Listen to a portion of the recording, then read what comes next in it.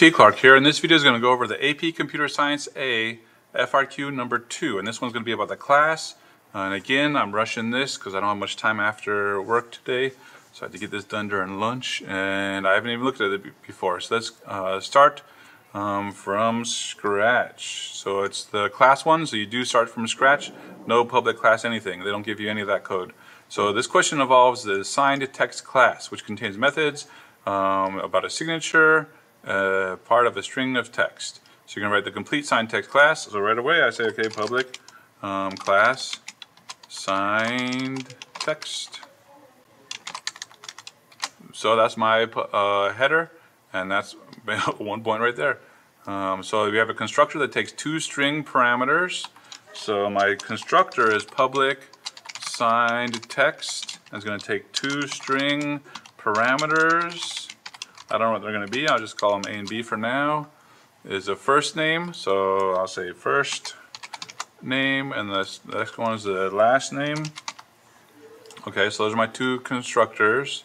The length of the second parameter is always greater than or equal to one. Okay, so the, the first name you couldn't, you might not have a first name, but last name is at least uh, at least one character long. At least one character long.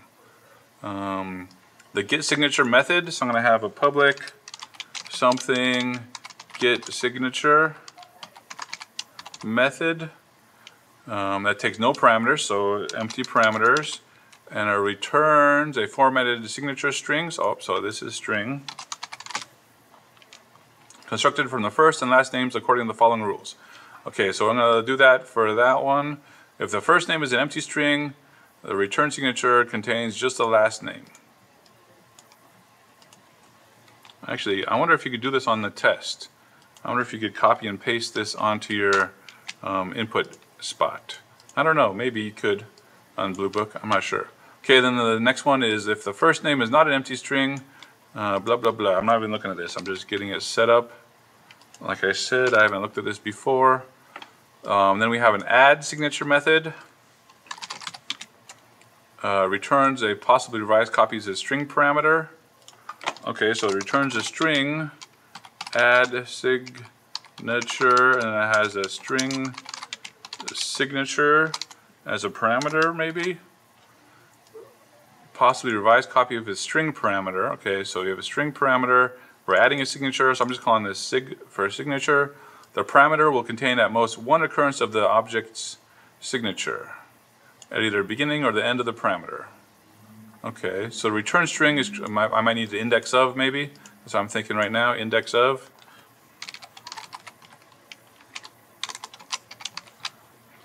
Maybe contains. Um, the return string is either created from the parameter according to the following rules. Oy, oy, oy. A lot of stuff. Blah, blah, blah, blah, blah, blah, blah, blah, blah. So I'm not even going to look at those yet. I'm just going to ignore those.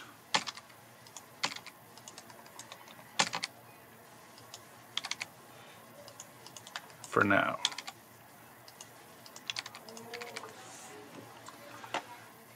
Because sometimes the reason I ignored it is because there's the table gives us more gives me more information. So the following table contains a sample code ex uh, execution sequence and the corresponding results. The code execution sequence appears in a class other than text. So this occurs like in the, in your main um, or your runner or something.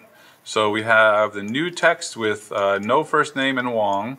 So the signed text object stir1 has an empty first name and last name. So I think right now um, I'm going to have to have uh, private strings that match my first name and last name. So I think I need to store those, if I could type correctly, in, oh, what the, I can't just push up. I don't like autocomplete stuff sometimes. Okay, I have my first name and second name, so then my constructor, I'll finish this up, is just going to say this one's first name equals a parameter first, and this one's second name, uh, last name, oh, first and last, not first and second, equals the last one's uh, parameter. Fix that up there. Okay, so I have my normal private instance variables for first and last name. I have my parameter for first and last name, which the first name might be empty, whatever. It just copies the empty string to the um, instance variable. And remember this on the left, this dot first, this refers to the one on the top, or you could have probably put f in uh, in the parameter list, and you don't need this dot, but I like putting this dot personally, so that's how I'm going to keep it. Um, and then get signature. So what does it say? If the first name is empty string. Okay, so that's where there we go. So if um, first dot length equals zero. So empty string, the return signature string, um, what does this say? The return signature string contains just the last name. Okay, so just return last name. Done. If I could spell it correctly, signature, signature. Okay, so if the first, uh, so this is else, if the first string does not an empty string, okay, I took care of that. Then what do I want? The return string is the first letter of the first name. So first letter, return, first dot substring, 0 comma 1, first letter, plus a dash, no spaces, no extra quotes, concatenated with the last name. I was about to put my last name. T. Clark. So that would, that would have been my signature, T. Clark. Um, so I want the first letter, and then a dash, and the last letter.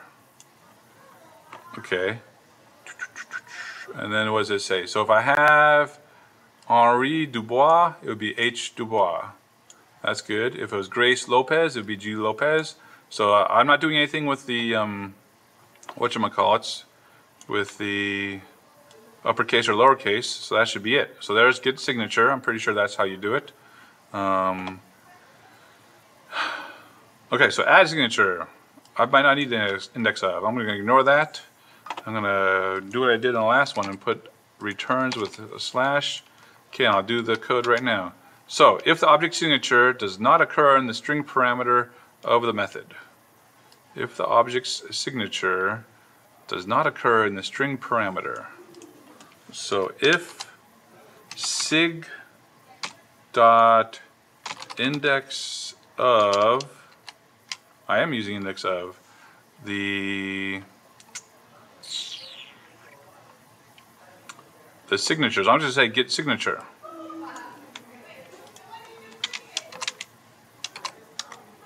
Oh, and if it's not there, means it's less than zero, right? Index of. I'm going to double check um, reference sheet. And I know on Bluebook it's kind of annoying to look it up. I'm going to look up my index of anyways. Returns the index of the first occurrence, otherwise negative 1 is less than 0 if it's not there, yes. So I'm seeing, does the um, parameter, sig in my case, contain, oh, my parentheses are messed up a little bit. I forgot one. So it does not contain means it's less than zero, the object signature. So object signature is just get signature. If I could spell correctly, I did. At least they're the same for me, at least. Okay, so the return string now, so now I have to do what, what I have to return uh, is the value of the parameter, value of the parameter with the signature added to the end.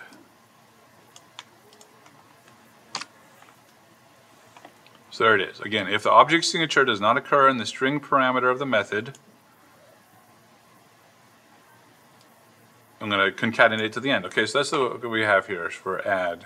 So we had um, something fox, and we had new text was, we want to add that text. So text is my sig.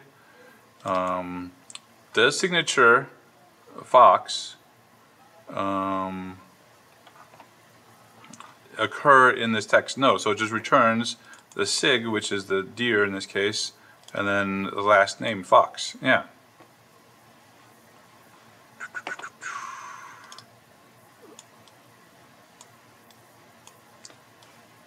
If the text is best wishes Fox, okay, so here's another example, or another, um,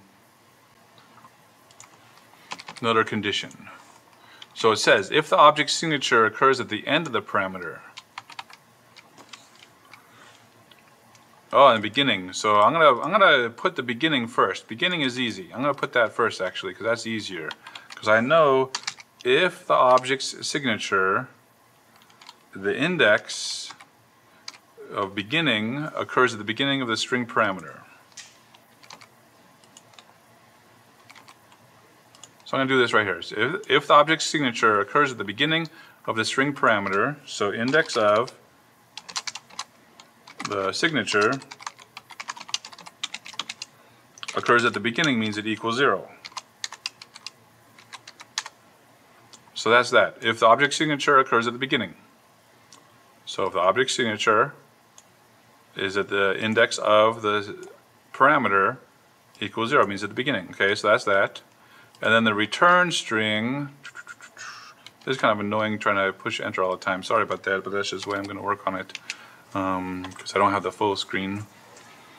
Okay, the return string is the value of the original parameter. The original parameter is just sig with its signature removed from the beginning and appended to the end of the parameter. So that was right here, Fox thinks. So if it was Fox thinks, and my, my thing is still Fox, yeah, so from way up here, I have Fox is my signature. I'm going to remove it from the beginning and append it at the end.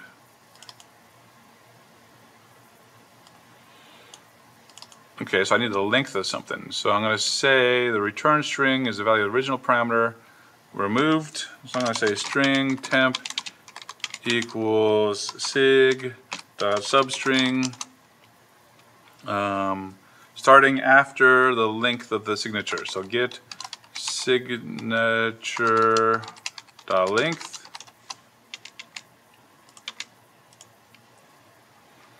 So if it was Fox, that's three, right? So it'd be zero, one, two, three.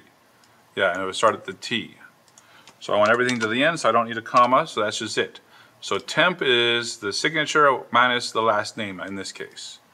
The temp is the parameter minus the uh, signature at the beginning. So I'll return temp plus get signature.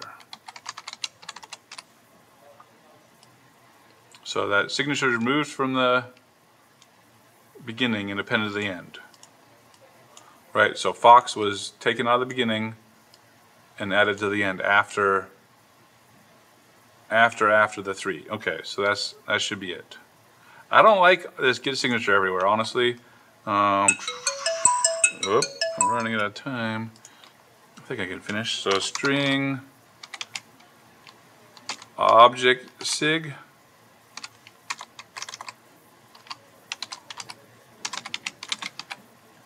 that might make more sense. So object sig. No, I'm going to keep it. I'm going to keep it the way I had it.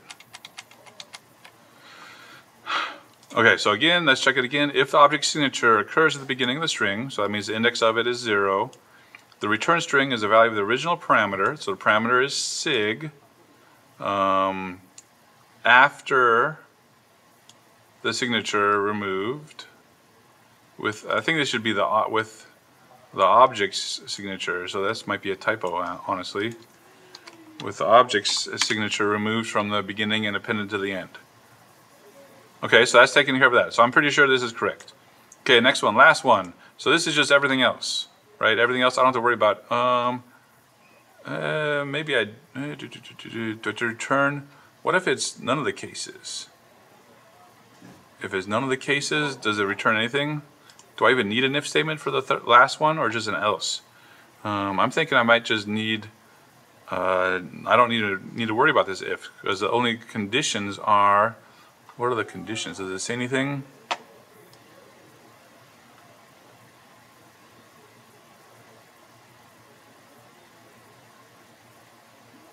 So yeah, it says the parameter will contain at most one occurrence of the object signature at either the beginning or the end of the parameter or not at all. Okay, so if it's not at all, taking care of it. If it's at the beginning, we're taking care of it. So at the end, we don't need to worry about the end because it says those are the only conditions. At most, one occurrence, what the heck are they screaming for? One occurrence of the object signature at the beginning and end. Okay, so now we're assuming it's at the end. So object uh, signature is at the end. The return string is just the um, unchanged value of parameter. That's it. Return sig, done. I think. Is that it?